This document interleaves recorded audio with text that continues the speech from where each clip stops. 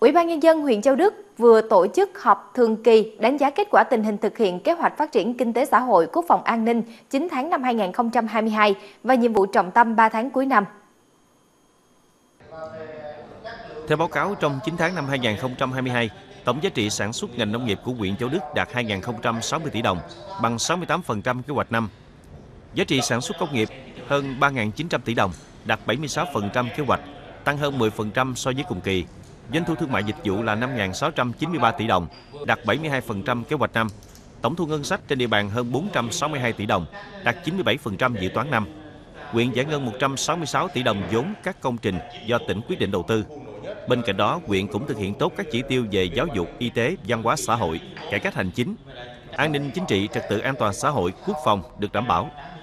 Chỉ đạo nhiệm vụ trọng tâm 3 tháng cuối năm, ông Nguyễn Tấn Bản, Chủ tịch Ủy ban nhân dân huyện Châu Đức yêu cầu các ngành địa phương tiếp tục chủ động phòng chống dịch Covid-19, vừa thúc đẩy sản xuất, kinh doanh phát triển.